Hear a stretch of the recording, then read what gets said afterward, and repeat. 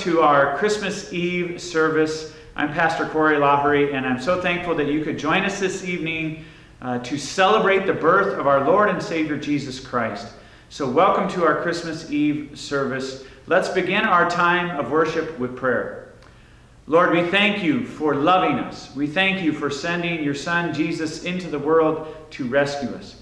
We thank you for the, the beautiful Christmas story, Lord, and we ask that your Holy Spirit tonight would encourage our hearts, would, would give us a deep feeling of your hope, uh, that you would, you would anchor us in your peace, that, that we would be able to celebrate with joy, and that, that our hearts would be filled with love today as we, as we hear about the birth of Christ and as we celebrate him and his birth. And I pray this in Jesus' name. Amen. Amen. Our call to worship is from the prophet Isaiah uh, chapter 7, verse 14. This is written some 700 years before the birth of Jesus. Isaiah 7, verse 14. Therefore, the Lord himself will give you a sign. Behold, the virgin shall conceive and bear a son, and shall call his name Emmanuel. Amen. Emmanuel means God with us. And tonight on Christmas Eve, we light the four candles of Advent and also the center candle, the Christ candle. The first candle we light is the candle of hope. Next, the candle of peace. Then, the candle of joy. Our fourth candle, the candle of love. And tonight on Christmas Eve, we light the center candle, the white candle, symbolizing Christ's holiness, purity, and righteousness, the Christ candle. I hope you had some candles at home that you could light, but these symbolize that the, the light of the world has come into our darkness.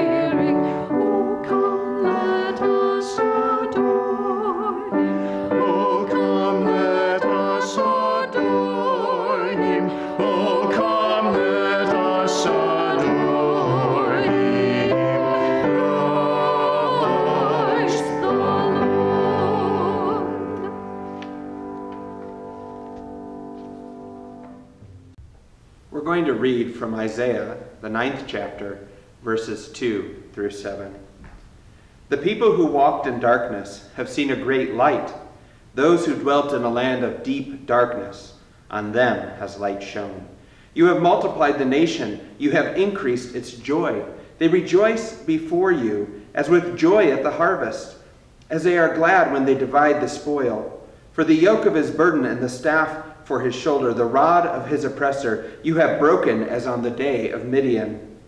For every boot of the tramping warrior in battle tumult, and every garment rolled in blood will be burned as fuel for the fire. For to us a child is born, to us a son is given, and the government shall be upon his shoulder, and his name shall be called Wonderful Counselor, Mighty God, Everlasting Father, Prince of Peace. Of the increase of his government and of peace there will be no end on the throne of David and over his kingdom to establish it and uphold it with justice and with righteousness from this time forth and forevermore. The zeal of the Lord of hosts will do this.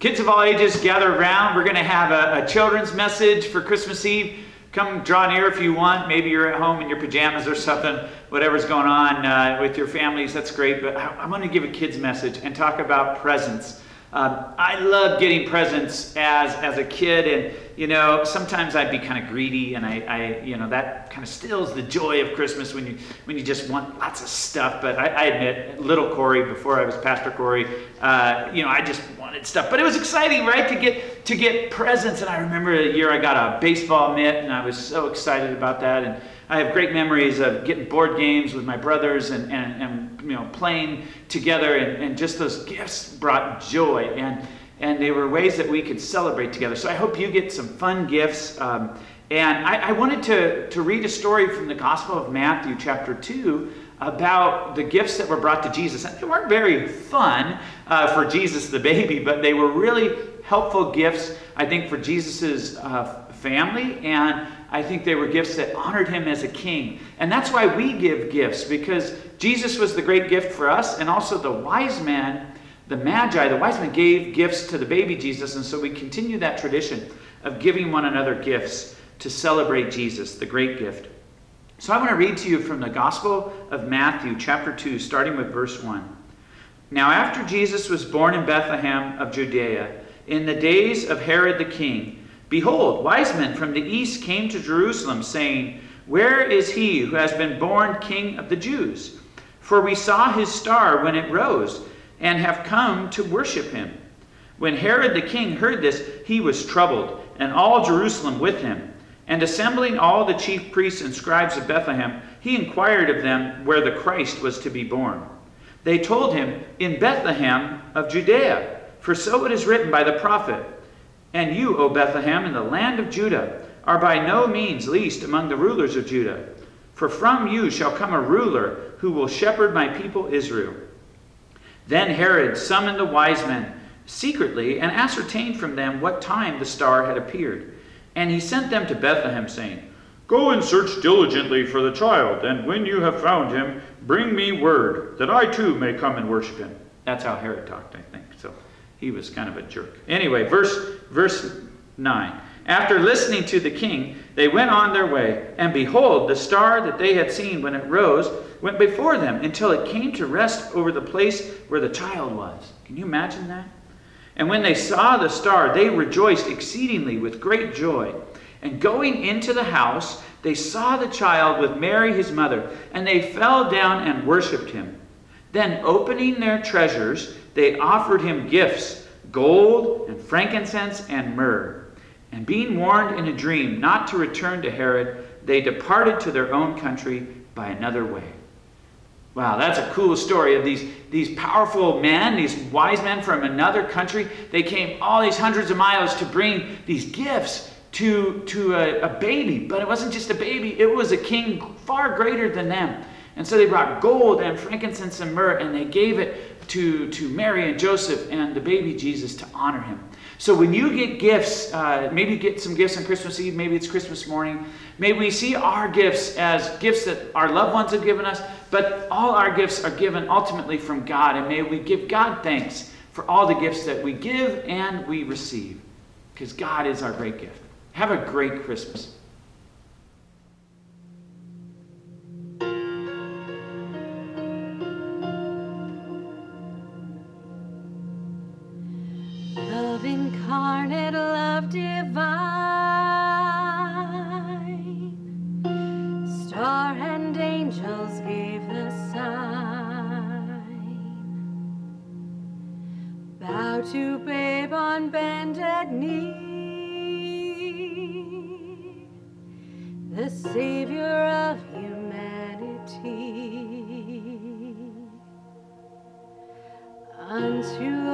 A child is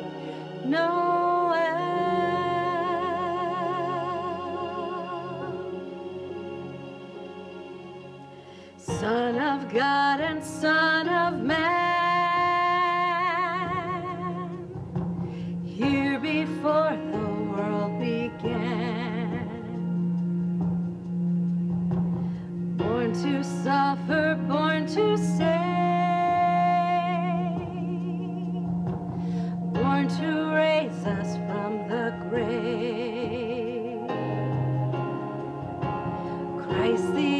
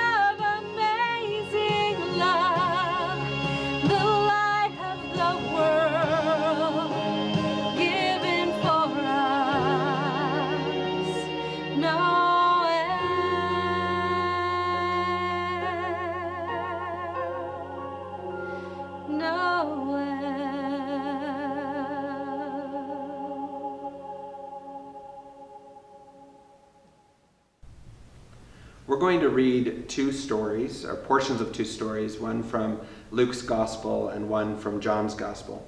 We'll start with Luke chapter 1, verses 26 through 38. In the sixth month, the angel Gabriel was sent from God to a city of Galilee named Nazareth, to a virgin betrothed to a man whose name was Joseph, of the house of David. And the virgin's name was Mary. And he came to her and said, Greetings, O favored one, the Lord is with you. But she was greatly troubled at the saying, and tried to discern what sort of greeting this might be. And the angel said to her, Do not be afraid, Mary, for you have found favor with God. And behold, you will conceive in your womb and bear a son, and you shall call his name Jesus. He will be great and will be called the Son of the Most High. And the Lord God will give to him the throne of his father David, and he will reign over the house of Jacob forever, and of his kingdom there will be no end. And Mary said to the angel, How will this be, since I am a virgin? And the angel answered her, The Holy Spirit will come upon you, and the power of the Most High will overshadow you. Therefore, the child to be born will be called Holy, the Son of God. And behold, your relative Elizabeth, in her old age, has also conceived a son. And this is the sixth month with her who was called barren. For nothing will be impossible with God. And Mary said, Behold, I am the servant of the Lord. Let it be to me according to your word. And the angel departed from her. And from John's Gospel, chapter 1, verses 1 through 5. In the beginning was the Word, and the Word was with God, and the Word was God. He was in the beginning with God. All things were made through him, and without him was not anything made that was made. In him was life, and the life was the light of men. The light shines in the darkness, and the darkness has not overcome it. Friends, our theme this season has been light out of the darkness. And you just heard from the Gospel of John, uh, chapter 1, verse 5, that the light has come into the world and the darkness has not overcome it. The light has come into the world and the darkness has not overcome it. And that light has a name. That light is Jesus Christ. He is truly the light of the world because he is God. And he is God that came to earth as God with us, Emmanuel, to bring God's love to us born as a real human child, to disperse the gloomy clouds of night, and to put death's dark shadow to flight. We sing Silent Night traditionally on Christmas Eve about the night of his birth. But that was not a night of darkness, though it was night, right? That night, the light of heaven was born into our world and laid there in a feeding trough, in a, in a manger. That night, the light of the world, the hope of all nations, was triumphing over darkness just by being here with us and bringing heaven's peace with him. Friends, the darkness will not win. Hatred, division, discord, bitterness, selfishness, sin, evil, and death, they will not win. For a greater power has come into the world, a greater light than all that darkness, and has defeated these dark powers. The greatest power of all, God, has been born into the world, and darkness is on notice. Its time is short. So, would you join me in believing that this Christmas, the light of God is stronger than any darkness? Would you join me in having hope that God will make good on all the promises He gave us to be with us, to love us, to forgive us, and to give us life with Him in a new heaven and a new earth. Will you join me in having peace that passes the world's understanding of peace straight from the Prince of Peace? That deep peace, that deep contentment in our souls. Would you join me in having joy this Christmas, choosing joy, choosing to rejoice and celebrate no matter the darkness of the circumstances around us, having joy at the deep goodness of God. Rejoice that our God is Emmanuel, God with us.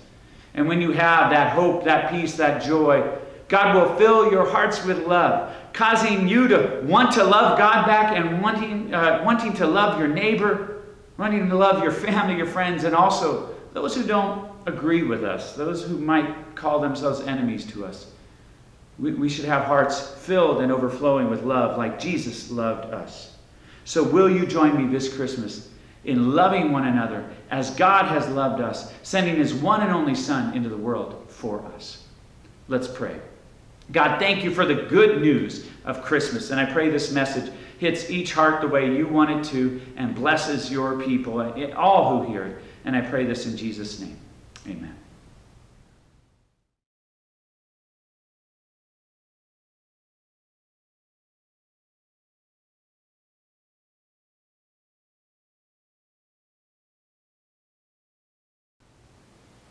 And now we are going to pass the light. I encourage you to, to take your candle, and if you have a Christ candle at home, light your candle as a symbol of the light of God coming into the world.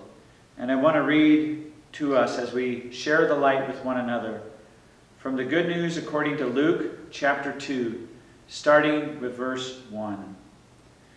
In those days, a decree went out from Caesar Augustus that all the world should be registered. This was the first registration when Quirinius was governor of Syria. And all went to be reg registered, each to his own town.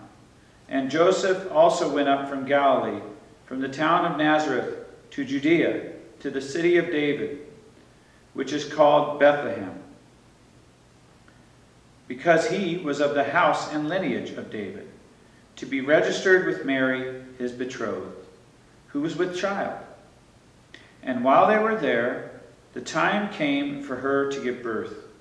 And she gave birth to her firstborn son, and wrapped him in swaddling cloths, and laid him in a manger, because there was no place for them in the inn. And in the same region there were shepherds out in the field, keeping watch over their flock by night. And an angel of the Lord appeared to them and the glory of the Lord shone around them, and they were filled with great fear. And the angel said to them, Fear not, for behold, I bring you good news of great joy that will be for all the people. For unto you is born this day in the city of David a Savior, who is Christ the Lord. And this will be a sign for you.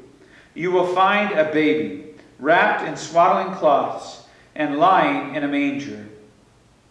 And suddenly there was with the angel a multitude of the heavenly host, praising God and saying, Glory to God in the highest, and on earth peace among those with whom he is pleased. When the angels went away from them into heaven, the shepherds said to one another, Let us go over to Bethlehem and see this thing that has happened, which the Lord has made known to us. And they went with haste and found Mary and Joseph and the baby lying in a manger. And when they saw it, they made known the saying that had been told them concerning this child. And all who heard it wondered at what the shepherds told them. But Mary treasured up all these things, pondering them in her heart. And the shepherds returned, glorifying and praising God for all they had heard and seen, as it had been told them. Now let's sing together, Silent Night.